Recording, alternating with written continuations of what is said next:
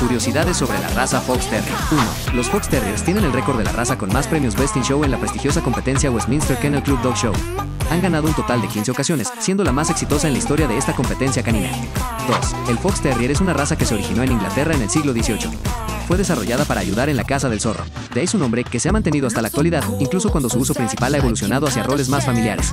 3. Los Fox Terriers son conocidos por sobresalir en varios deportes caninos, como agility, flyball y pruebas de obediencia.